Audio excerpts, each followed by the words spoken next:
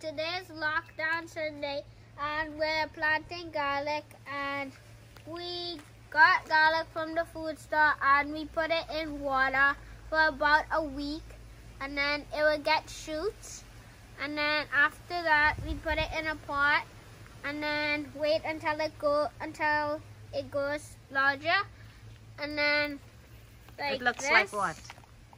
Oh, look at all those roots underneath it. Yeah. And then, as you can see, we split it, it out. So then my brothers are gonna plant um two each. So now we're gonna plant the garlic. Now when you plant garlic, you have to well dig a one. hole. And I chose the big ones, but like two inches deep. Then you want to stick it in, cover it back up. You also want to make sure that, well, it's six inches apart. And so we're to put the next one on this end.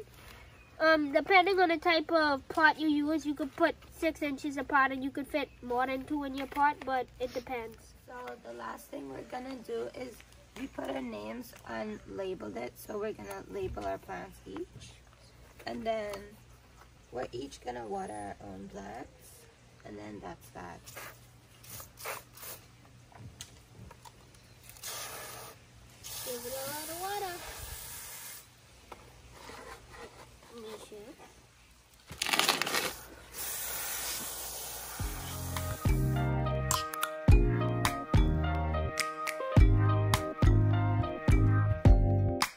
Open up, you OPN.